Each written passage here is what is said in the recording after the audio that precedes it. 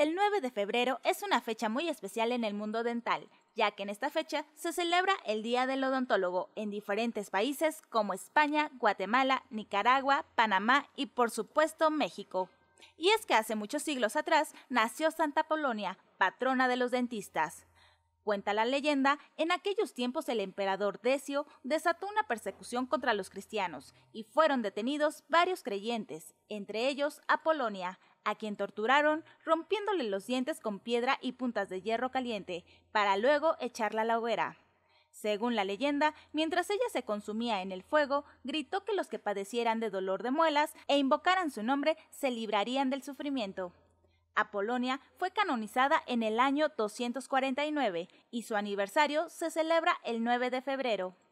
La profesión de los dentistas es considerada importante, no solo por la Organización Mundial de la Salud, sino también por miles de mexicanos que sufren los terribles malestares bucales. Por tal razón, el DIP municipal de Ixtapaluca realizó una sesión de actualización para los odontólogos con tres temas como son restauraciones estéticas, patología y medicina bucal y por último, cómo manejar el estrés. Esto con la intención de mejorar la calidad de atención a la población ixtapaluquense.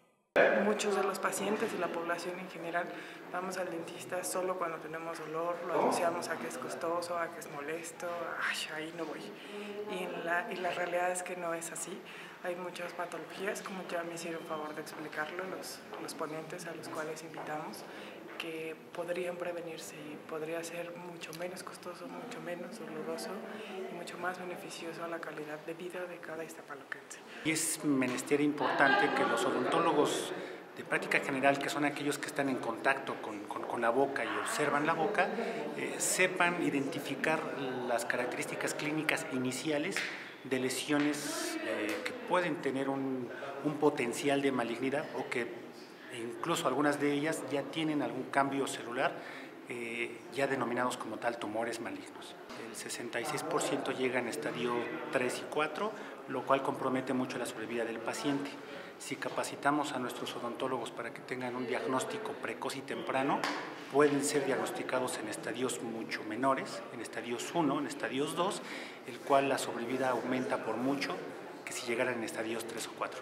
Los especialistas de curar cualquier molestia bucal que se presente, se les debe un gran reconocimiento por su paciencia y dedicación, además de que pueden lograr poner una sonrisa en el rostro.